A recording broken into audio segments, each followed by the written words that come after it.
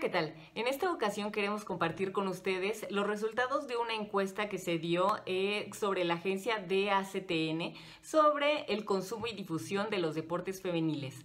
Uno de los resultados más interesantes son que 314 millones de personas están interesados en consumir el deporte en la categoría femenil. Sin embargo, pues se pueden identificar también en sus resultados algunas cuestiones de desigualdad por esta brecha de género.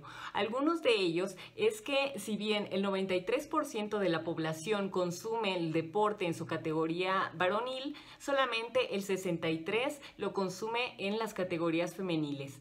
Esto a través de la falta de difusión, la falta de medios y también de estrategias de marketing que puedan dar a conocer el nombre y las categorías o las áreas y las disciplinas en las cuales participan mujeres. Si bien este estudio fue realizado en Estados Unidos, Francia, Italia, España, Nueva Zelanda y Austria, pues habría que hacer un estudio a nivel eh, Latinoamérica para poder identificar cómo y cuánto es la población que está consumiendo el deporte en categorías femeniles.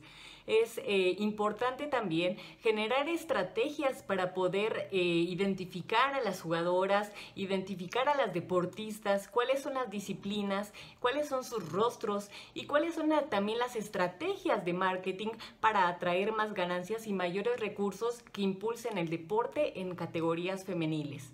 Y bueno, pues esperamos que estas brechas de desigualdad cada vez sean menores y que el deporte pueda ser eh, pues exponenciado mediáticamente, mercadológicamente en cualquier eh, categoría. Muchas gracias.